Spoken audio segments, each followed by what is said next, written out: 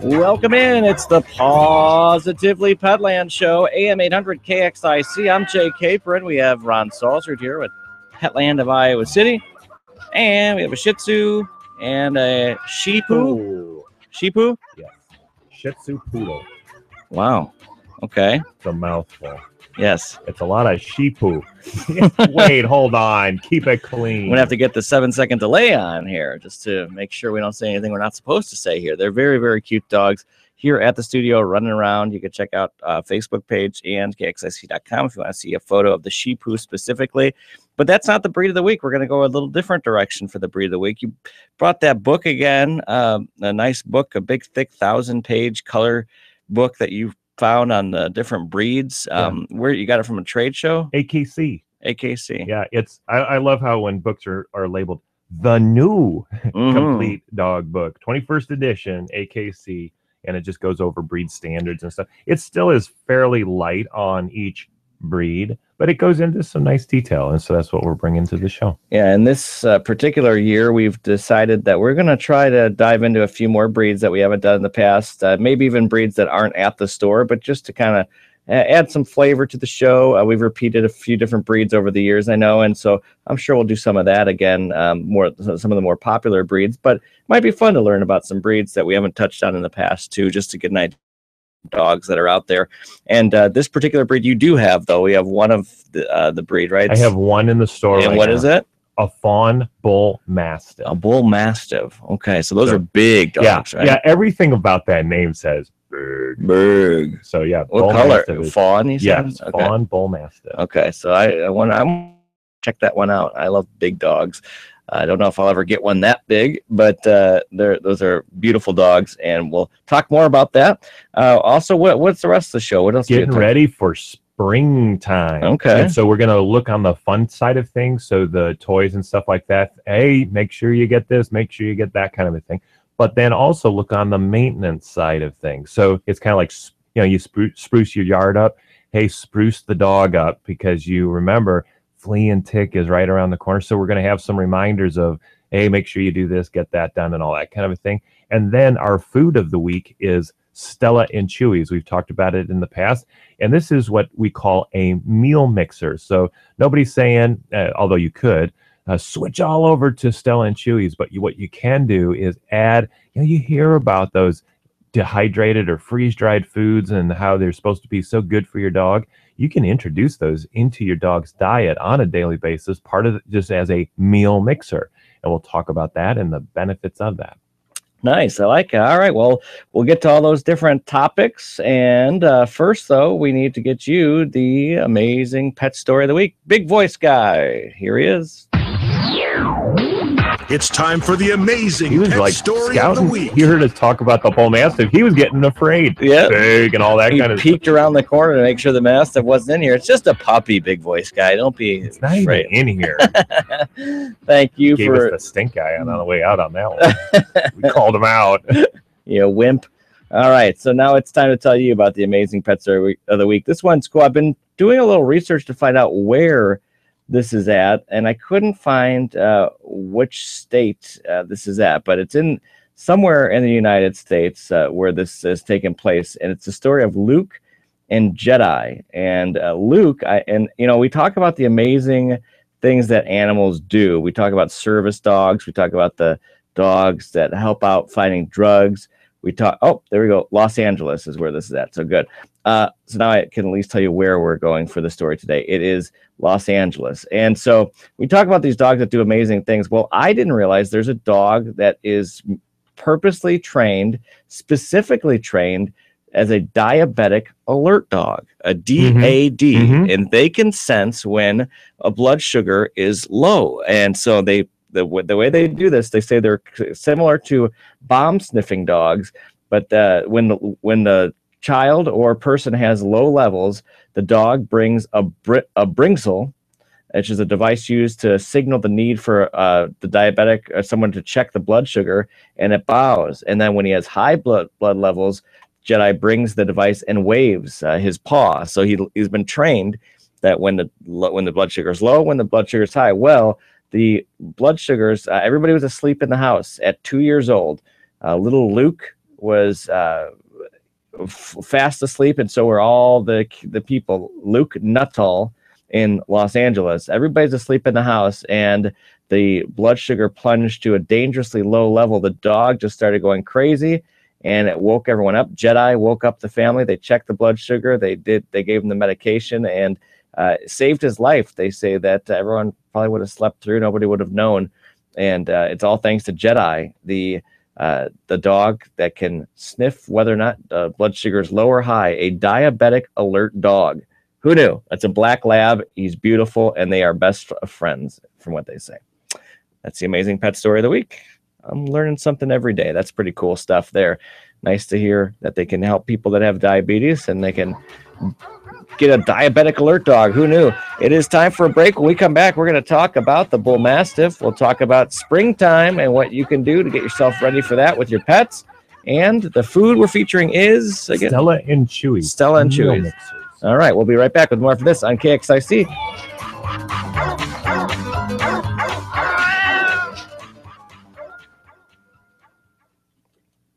All right. Record a promo.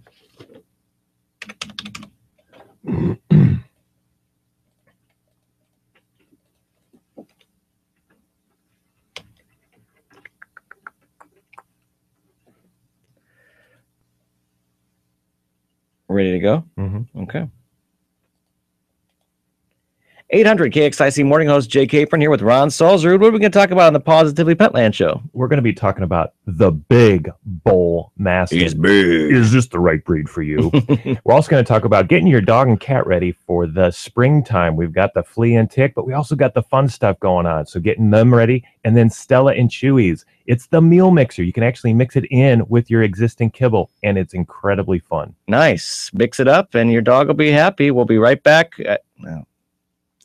Mix it up and your dog will be happy. It's the PAWSitively Petland show, Sunday mornings at 9 and at kxic.com. All right. Oh,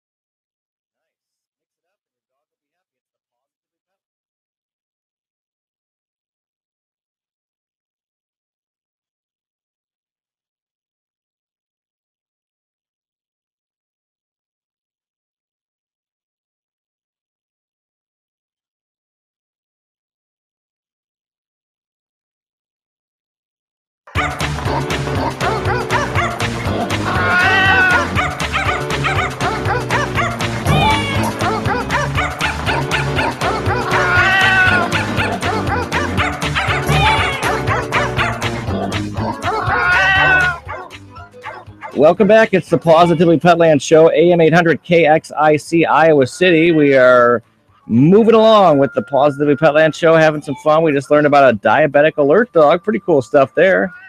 They can train dogs to do that. And we're going to move on to talk about the breed of the week. It's the Bull Mastiff, a very large, large dog.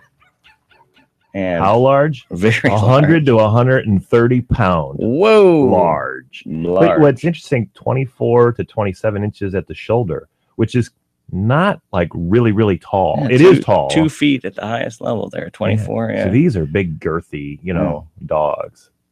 There's a lot of meat to them. So stump, stump the J question. Where does the uh, bull mastiff origin originate from? Hmm. Let me think about this. If it's, let's go with Europe. Yes. Okay, I've got the continent down. Let's go with uh, Germany. Yeah, that's what I would think too. Yeah. Wrong. Where is it? England. Okay, And uh, fascinating if I could read just a section of from AKC. sure. This one, uh, they call it the gamekeeper's night dog. And I actually was like, gamekeepers, you know, back in the what the early 19th century, what is that? What is They didn't have Nintendo Yeah. back then. What are you talking about? So it says, it reads, in 19th century England, before industrialization, the rural agrarian society was composed of large feudal estates surrounded by small tenant farms. So I'm just like picturing pastures and stuff like that. Yeah, a lot of yeah. farming communities with some small farms around it. It was the gamekeeper's duty to prevent the desperate and determined poachers from illegal illegally taking the wild game Ah, that roamed the landowner's property. So it was the gamekeeper's night dog. So the, you're the you're the poacher coming up into that area. oh, You know, this is almost like one of the kids' movies, like when the big dogs come slobbering around and yeah, yeah. and you like go ah, and the robber like runs away, kind of a thing. Wow. So it scared off the poachers. And one of the, uh, because it was such a big dog, it could hold a poacher down, a a full grown man. until somebody just- showed up. Yes. But it was funny is it doesn't hold him down and maul him. No, it just holds him down until Mm. somebody can get there. And I'm sure it's like, you know, barking and all that kind of stuff to get everything going. But it just was a cool story about the bull mastiff. And if you haven't gotten it already, the bull mastiff isn't a mean dog. It is just it, it is a very family oriented dog. It's going to love the family. It's kind of a lazy dog. In fact, AKC rate, rate does rate it as an apartment is okay for this massive dog because it has low activity. Hmm. Uh, so that is some really cool, uh, just history of it. Um, requires little grooming. Uh, regular bathing, nail clipping is about all that's required. Um, moderate exercise at best is all you need to do. Um, and then uh, uh, they do say training. uh, It is a free spirited, boundless love uh, type dog. And so they said training, yeah, you're going to have to continuously remind this dog of, you know, sit, stay calm and all that. And all you do in that case is um, we have we have a dog kind of similar in that range in the range is we're always just saying a command. The dog wants to be engaged is in, in our case and and in the bull mastiff. It wants to be engaged. And if you're just like romping around and giving it love, okay, it loves that. But now it's kind of free, loose, fancy, free kind of a thing, and, and will do his own thing. So then you just bring it back and go, all right, you know, a big bull, bully, Mm. uh, set. and, and so say say a couple of commands and you'll get them right back into, oh, that's right, I, I can't knock over the coffee table. Yeah, kind of thing. So so it's a nice way of keeping them in. Just always be training, you know, from time to time every day, and and you'll keep this guy in control. So Nice. that is the bull mastiff. And that time of recording, you have one of these. I have one bull mastiff right now. All right. That's Ron Salzer with Petland of Iowa City. This is the PAWSitively Petland Show, and on to the show topic of springtime. It's on everybody's mind, let's face it. The warmer weather. I know that I've seen people out in the community walking their dogs a lot more. I've been outside a lot more, and it's just wonderful to start feeling like we're turning the corner.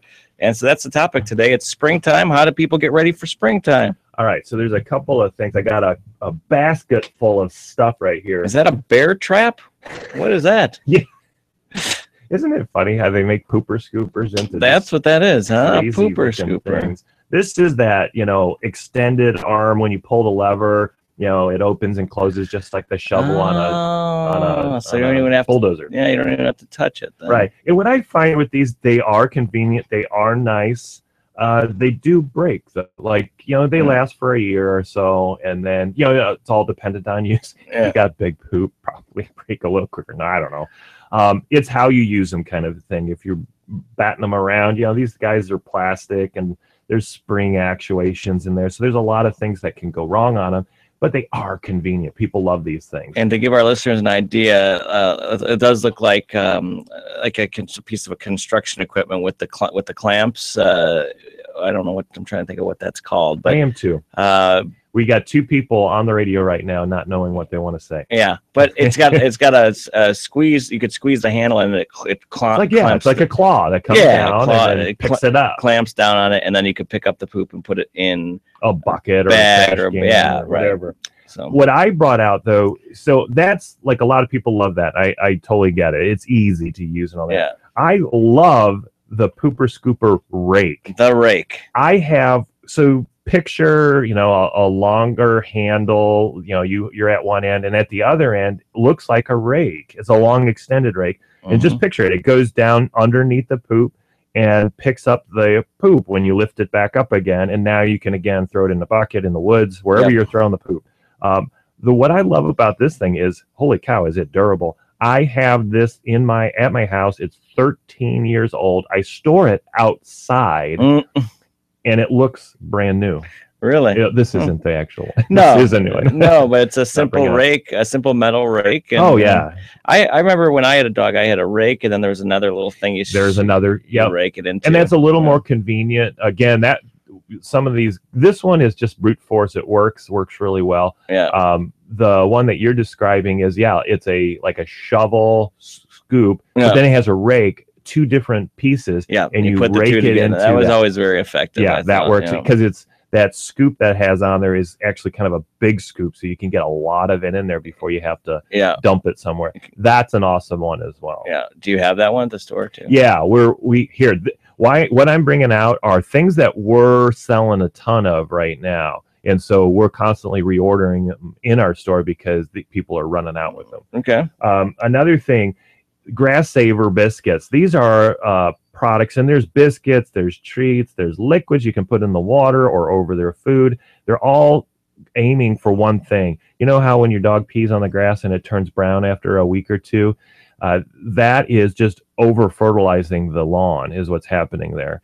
And so there are biscuits and liquids and chews and so, all sorts of things that you can feed your dog that will prevent that from happening. What's not everybody has this issue.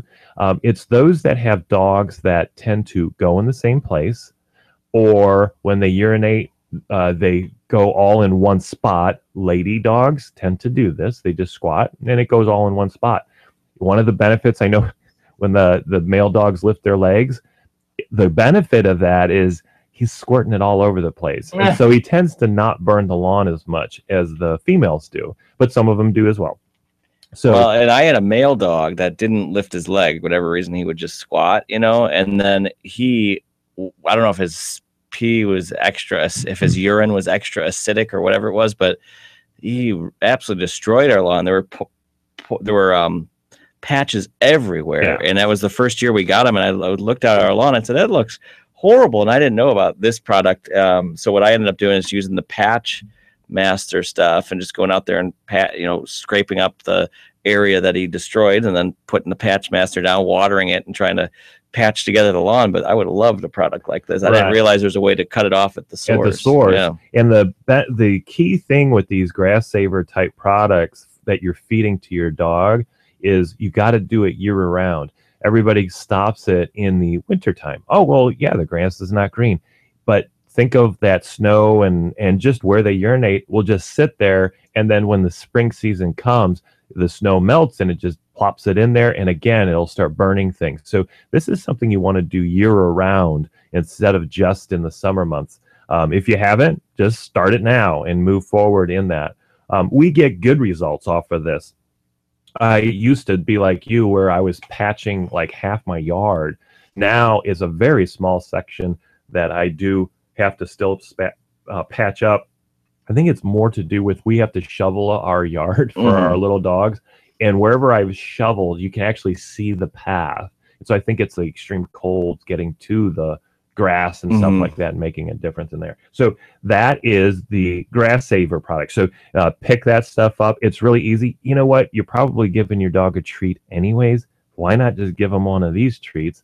And now you're going to save the grass as a result. Sure. So Grass Savers is a really good product. Um, another thing, flea and tick.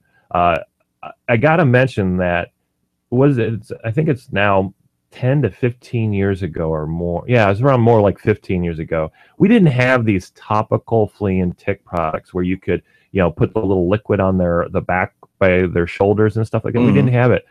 The cleaning industry uh, had a booming business in controlling flea and ticks in your house.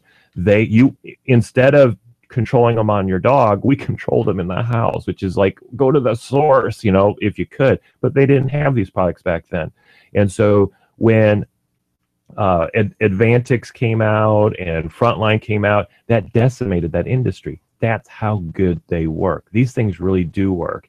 Um, and sometimes people will go, "Well, I did it, and this happened." Always, I always peel the onion. Uh, make sure you follow the directions. Um, if you have that dog that gets in the water a lot, yes, you are decreasing the amount of this product on your dog, but there's some other uh, tools that you can use to help even those dogs. One of the neat things that is happening right now, though, is Frontline has gone off patent, and we all love it when things go off patent uh, for the consumer side of things. And so now the generics are coming out that are just as powerful as Frontline and at a fraction of the cost. So we actually have big displays of this in our store right now of ZoGuard, which is a um, is an alternative to Frontline, but it's exactly the same product kind of a thing. Hmm. So it, the biggest thing when in the past when you found products that were cheaper than Frontline or Advantix, if you looked at the active ingredients, you would have known you would have found that the ingredients were at a third of the dose. And every veterinarian that I talked to on that said they don't work as a result. So um, load up on uh, the your topical products, ZoGuard or Frontline or Advantix. Make sure you get going on that we're down to 10 to 13 dollars per dose uh, on these things that is incredibly inexpensive for the alternative and that is thousands of dollars trying to get it out of your house let alone the uh, uncomfortableness of the dog itself uh, or cat for that matter Fleas and ticks are on their way too, and uh, soon enough. Right, and and uh, I have an herbal version of all this kind of a thing, so that if you are sensitive, if you have a dog or you are sensitive to these products, um, I have herbal uh, remedies for that as well that have good effect on it. I can't say that they're just as good, but they do have good uh, repelling, uh, and people come back and say, "Hey, yeah, that got me through my problem. It kept the fleas off." It's always better to be on the front line of all these.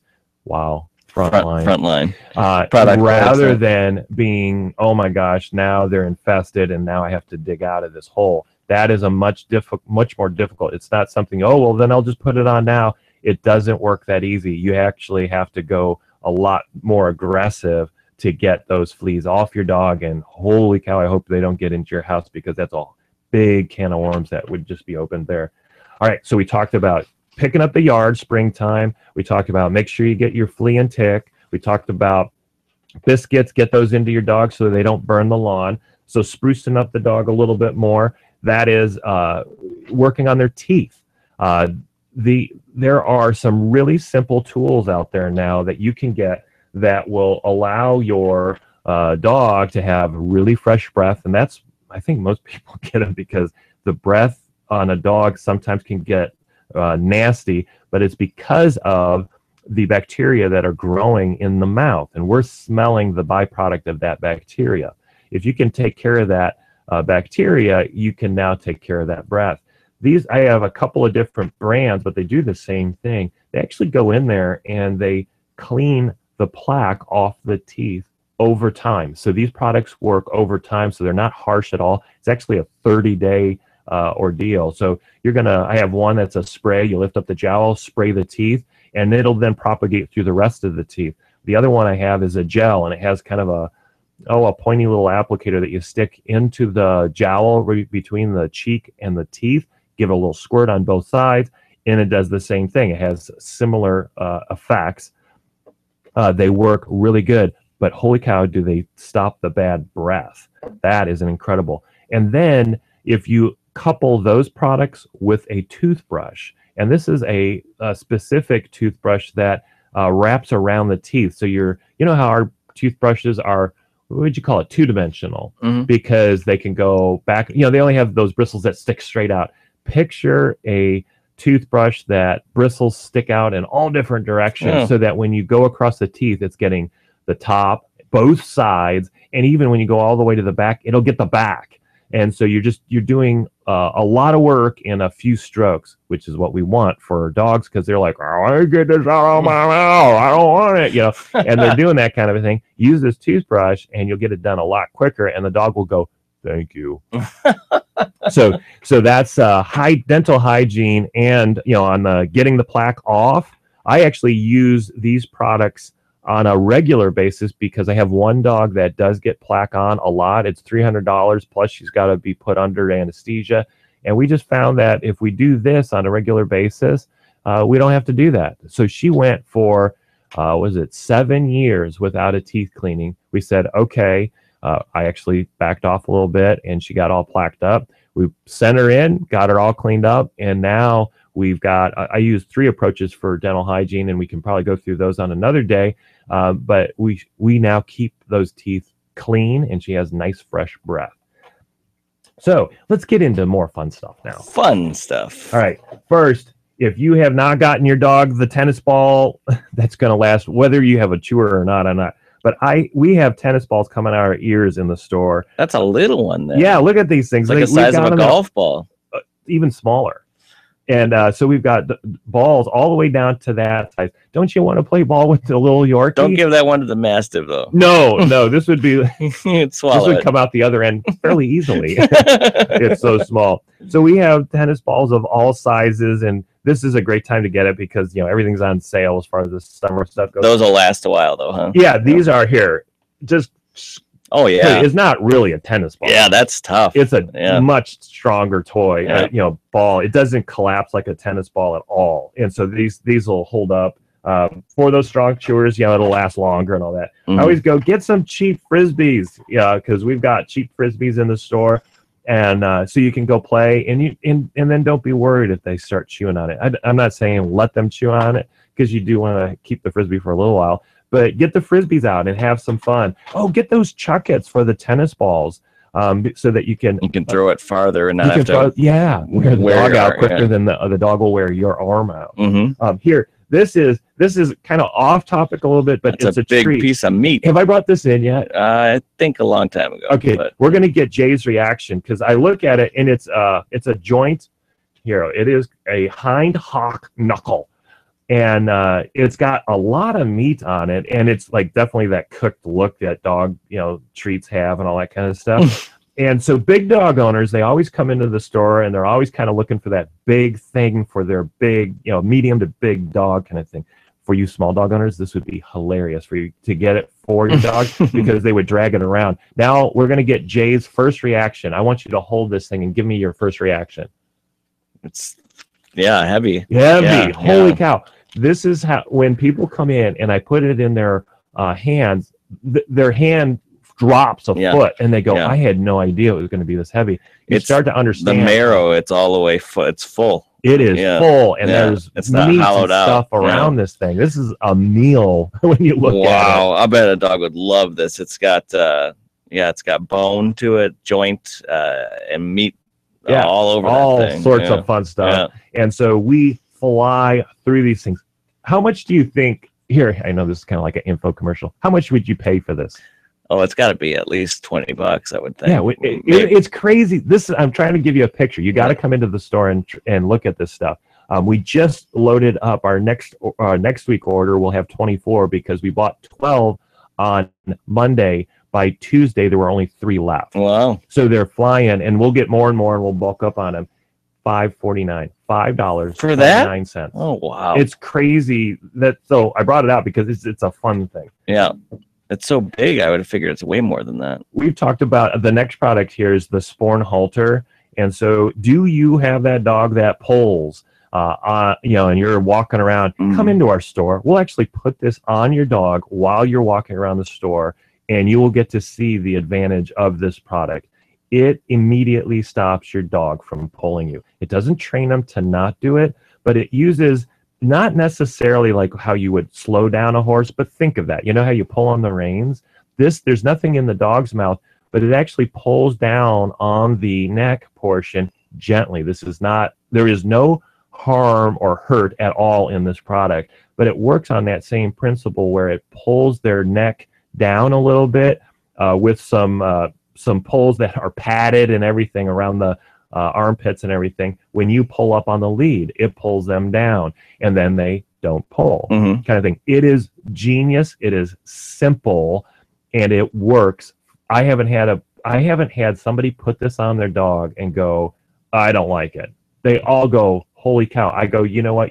You're welcome to walk around the store for 30 minutes Mhm. just to make sure this is the right thing for you. Yeah, we had a lab that had the collar that would tighten up when he pulled, and all he would do is pull harder and then be like, ah, ah. he's like Mhm. trying to breathe, and he, it didn't stop him. It just he kept pulling on it, and so Right, it didn't really work. What you're him. describing is those choker chains or the Mhm. gentle uh, collars and then the prong ones that we've all seen. Um, those are, you need to be trained to use those products. So they don't just work. Mhm. Those you have to know how to use them because you just described how not to use it. yeah, Um, you ha- and it and it is something that it, again I can demonstrate it in the store. Um, there's classes on how to use them, so they do get a little bit more complicated. Um, they uh, they do use a little bit of that pain reinforcement ac- uh, activity on there, but it's not huge. If you ever see somebody using them, if they're using it like a fishing pole, like what you described right there, Yeah. that that's wrong. Um, you're not getting any good effect over it, and yeah, all you're doing is hurting the dog. Um, uh, but most of the the time, and in fact, if somebody's using a good, they're not even. You don't even see them use it Mhm. because they've already gone through the training program. It works. It's all at the front end of it, and then they continue to use it. That's a that's something I probably can't even describe over the radio because it is a very visual thing Mhm. on how to use that one pr- Okay. But if you need some help on that, you can talk to your veterinarian or come into our store. And then uh, I got two products. How much time do we have? yeah. About time to talk about Stella and Chewy's, but you can get those two. Well, real we quick. talked about the FURminator all the time. Hey, your dog is going through the shed right now, whether you know it right now because it's getting warmer. This is a natural shedding time for those shedding. There's the FURminator. Get the FURminator. It has- It just made its appearance in the studio. and then Lickety Stik, which is something that is just fun because this thing is like giving your dog a treat, but it's a liquid. Picture picture a roll on, a deodorant roll on. Mhm. That's the applicator, and then but inside the liquid is a really intensively tasty treat, and it smells really good to them. So walking down the the sidewalk, you can open this up, give them a lick because you're encouraging behavior. Put the cap back on and put it back in your purse or your fanny pack or your or uh, or into your pocket. So Nice. that is getting your dog ready. Lots of great summer. products. Yeah, check out Petland of Iowa City, Lower Muscatine, across from Lucky's, and they open up at to noon today. If you're Yes, listening on Sunday, Sunday, from noon until six, and then Monday through Saturday we're open from 10 a.m. until 9 p.m. And then in a 30 second vignette, uh, if you have not tried Stella and Chewy's, this is just one of those really really fun products. It is a freeze dried kibble.